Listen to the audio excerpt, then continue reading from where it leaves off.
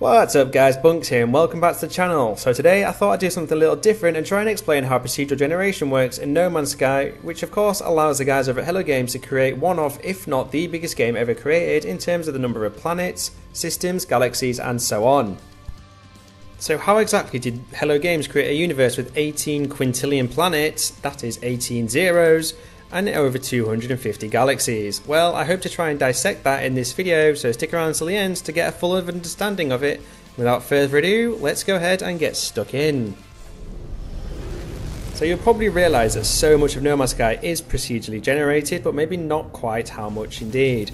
All of the following in this list are procedurally generated, but the list is in fact far bigger. But here are just a few, some are obvious, but some may come as a surprise, things that are procedurally generated in the game.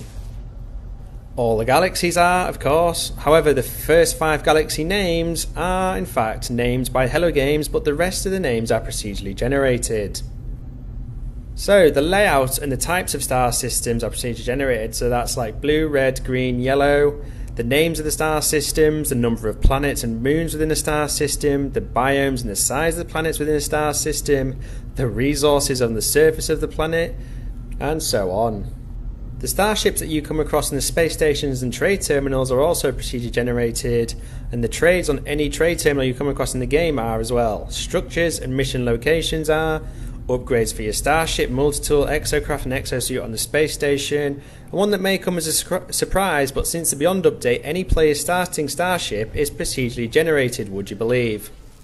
And as I said, the list of procedurally generated content in No Man's Sky is in fact much bigger than this, but it does give you a rough idea of how vastly used procedural generation is in the game. So, what exactly is procedural generation? Well, unlike in a lot of games, the teams will work together to design and build the map, everything in the game manually. But procedural generation is a method of creating data using algorithms instead. So in the context of gaming, it will use these algorithms to create all sorts of things like 3D models, so like flora and fauna that you're going to see on the planet, along with textures, so like the biomes you'll see on planets. That includes the ground, so whether it isn't covered in rocks, grass, water, and so on, along with the terrain, so whether or not a planet is re relatively flat or incredibly mountainous.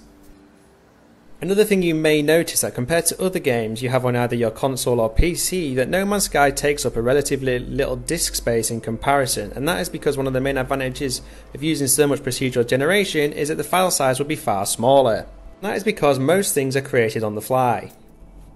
A couple of other advantages of procedural generation are you can have much larger amounts of content, which is of course why No Man's Sky is so damn big, and it also allows for less predictability of gameplay. Of course, procedural generation is not without its downsides, however. Whilst there are 18 quintillion planets within No Man's Sky, they're all calculated based on a finite number of predetermined assets such as basic creature shapes or planetary biomes. Effectively, that means once you've played the game for a certain number of hours, like I myself have, all the different planets you visit will have similarities with many of the planets you've already visited in the past. That could contribute to the reason why, although No Man's Sky has had a whole bunch of new features added over the years, that it's still described as some by as wide as an ocean but as deep as a puddle. That basically means that the game is so incredibly vast, but it won't take you that long until you've actually done most of the things in the game, and now you're just exploring for the sake of exploring. Now, Hello Games thankfully did in fact have the foresight to enable more assets and features to be added to the game through updates, which is what we've been seeing for the last six years or so means that puddle is getting slowly deeper as we go on. So, how does procedural generation actually work? Well, there are a lot of complicated terms coming up, but I'll try and put them into layman's terms for you. So, first of all, procedural generation are two big words for one simple thing, and that is the creation of data by a computer. You'll notice that when you're flying on down to a planet, the closer you get, the more detailed the planet becomes, so you'll start to be able to see plants and other procedural generated things, and most of this generation is done by something called fractals. I won't fully go into fractals but because we'll be here all day, but the short version is every part is self-similar to every other part. So an example of this could be branches on a tree, so the smaller branches have a similar structure and appearance to the larger branches and inevitably the trunk of the tree, but they are, in their own way, slightly different. Guys over at Hello Games probably use these fractals and slight irregularities to create mountainous terrain and various other assets in No Man's Sky. Fractal formulas can be described as recursively, which basically means that from a small branch on a tree we can find a set of instructions to create the other branches and eventually the entire tree. And the same can be said for when starting from a triangle and eventually be able to create the entire planet's terrain from that starting point. The advantages of using these fractals is that we can create these instructions to always generate the same image, so that's how when you go back to a planet it will always look the same, and it's also how other players will see exactly the same as what you do, and not something totally different.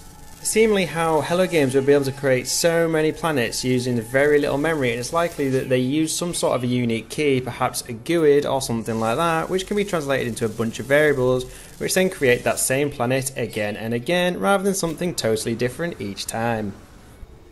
So how is it possible for Hello Games to use this method to create a whopping 18 quintillion planets that are self-similar yet slightly unique in their own way? Well, let's talk about just lush biomes here as an example. As of the creation of this video, there are 11 different types of lush biomes that can have a possible 10 different types of weather. Now let's say there are 100 different types of terrain that you can find on lush biomes, and that's already 11,000 unique possible combinations of a lush biome. Now add that to just the colour of the terrain. Let's say there are even only 20 different options for the colour of the land and 20 different options for the colour of the water. It's likely more than that in the game, but those combinations already take you up to 4.4 million different possible lush planets, and we haven't even begun to talk about the flora and fauna.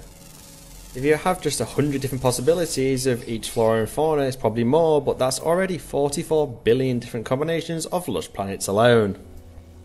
So you can probably see where this is going. This is likely how Hello Games have managed to create a universe with 18 quintillion planets, each in its own unique in some way or another, but because the amount of assets they use for all the aspects of the planet isn't exactly a mind-boggling number, that is why after a certain amount of playtime in the game, you'll start to recognise certain aspects on planets that you've seen on others.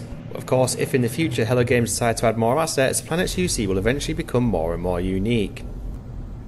Now, as Hello Games are a relatively small team compared to a lot of other game developers, I personally would like to see third-party integration feature with No Man's Sky, meaning that game artists, and well, anyone really with an artistic nature, would be able to add more assets for creatures and planet biomes, meaning the game become, can become more and more unique.